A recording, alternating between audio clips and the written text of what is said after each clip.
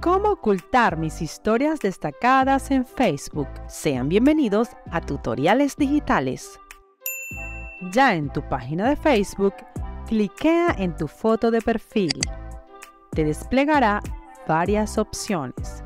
Dale clic a Configuración y Privacidad. Luego a Configuración. En la barra de búsqueda, dale clic al icono de la lupa y escribe historia. Entra en historias y a su vez en privacidad de la historia.